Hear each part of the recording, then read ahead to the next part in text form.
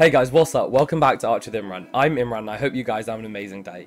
In today's video, we're going to do a basic tutorial on SketchUp 3D Warehouse. Now, as you can probably tell by the title, this video is a collaboration with PASS. Now, PASS is University of Portsmouth Architecture Society, and this video will be posted on both channels. So, so if you're watching this video on the PASS YouTube, come check out my channel, links in the description. We do a load of great content and software tutorials aimed at early years architecture students. And for you guys on my channel, please go check them out. They have loads of amazing guest lecturers and they record all of the lectures and put them on there. Some really great content and I attend a number of them myself. So let's get into it.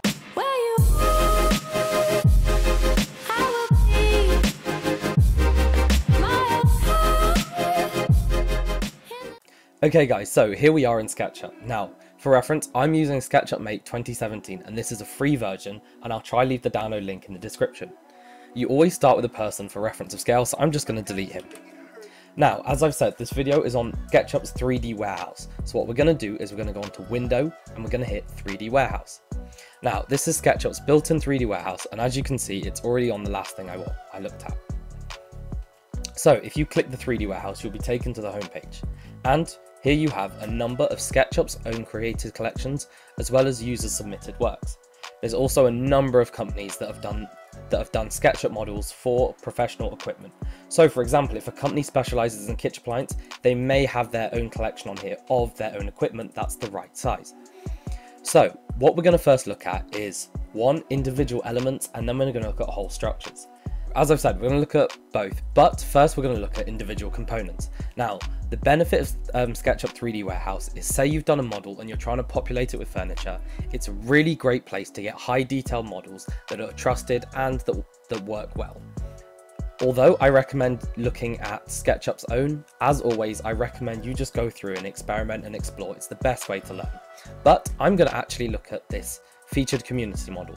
This divan bed here, I really like the look of it, so I want to put this in my model. So what we're going to do is we're just going to open it, it's got all of the information, and we're just going to hit download. Now, you're given the option to automatically load it into your SketchUp model. You can hit yes and it will put it straight into your document, or you can hit no and it will go to your downloads folder and you can just drag it into another document at a different time. So I'm going to hit yes. And as you can see, it's giving me the option to place it. So I'm just going to use this point as the start. Now, it's really important to keep in mind that sometimes not all of the models are to the correct size. So you can see here we have some measurements. So I'm just going to get my pencil tool and I'm going to draw from one point to the other just to check the size. Now, as you guys can see in the bottom right corner, we are in inches and I want millimeters. So I'm also going to show you guys how to change the units. So I'm just going to hit escape to stop this and what we're going to do is we're going to go into to window and we're going to hit model info. Now here you can see the length is units, but if you're on another selection, just click units on this left bar. Now its default format to architectural. Now this is because SketchUp is an American program, so it defaults to inches. So what we're going to do is instead of choosing architectural, we're going to choose decimal, and we can now choose millimeters in this drop down here. You can also choose your precision, so this is how many points after the decimal point you'll register. Now, if you're working on a really small scale, you want to have a high precision, and if you're working on a really large scale, you don't necessarily need too high precision. I recommend at least two after the decimal point. Now, the other, the other options we're going to leave the same, and I'm just going to hit close. Now, if you see, if we go back and draw again, then we are now in millimeters. Now, as you'll notice, as you draw lines, they will snap to green, blue, and red. Now these are because they'll snap in the X, Y, and Z axes, and it's a really good way to tell if your line is straight.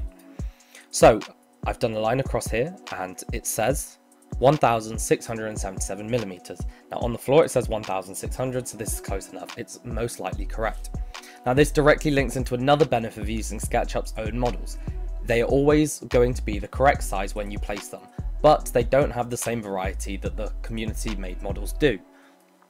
Now, secondly, I'm going to show you guys how you can take these apart. So, as you'll see, when you place them, they're most likely made into a group. So what we're going to do is we're going to go right click and we're going to hit explode. This will explode it into individual elements as you can see. So now we can just move this single bed. Now if we go on the move tool, we can choose a corner and we can use this to move around. You can also rotate it by also choosing a corner and rotating along that axis. Okay, so now what do we do if the model is not the right size? So I've got this chair from this um, 3D warehouse, and what we're going to do is we're going to check the width of it. I'm going to draw a pencil from here to here. Now it says it's 289 millimeters. Say for example we want this to be 350. Now what we can do is here with this box with a line you have a resize tool. Now you can resize uniformly or non-uniformly. But say this isn't precise enough, you want a specific length. So what we're going to do is we're going to select the whole model again and we're going to use the tape measure tool. Now you can also hit T. And what we're going to do is we're going to click on the bottom left to the bottom right. Now this already says 289 millimeters as you can see at the bottom. We want it 350 so what we're just going to do is we're going to type 350 and hit enter and then we'll be given this option to resize the model. If we hit yes, it will resize the entire model uniformly to that size. And now just to double check, if we get our pencil, here to here is now 350. Okay, so at the start of the video, I spoke about downloading individual components or whole structures. So what I'm going to do is I'm going to go back onto the 3D warehouse and I'm going to search something, for example, condo. Now I've just searched condo and what I'm going to do is I'm going to go into models. Now, as you can see, there's a few examples and you have to go through here and look out ones you want. But here we have a really nice condo. Now I'm going to load this directly into my model. Now, really quickly, you might ask why would I want this in SketchUp? So I personally think it makes a really nice background so that you populate your, your render.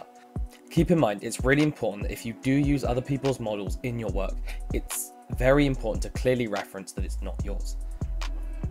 Now, the other benefit to using these are for practice. So I personally love to download other people's buildings and practice rendering with them, adding stylizing, just to get a feel for it and it saves you wasting time building an entire building if you want to experiment with different structures. Now guys, unfortunately that is all we have time for in this video. Hopefully you found it helpful. If you guys want more SketchUp videos, please leave them in the comments. I'll see what I can do. And if you're on the PASS channel, come check out mine. And for you guys here, please go check out that video and I'll catch you guys in another one. Take it easy.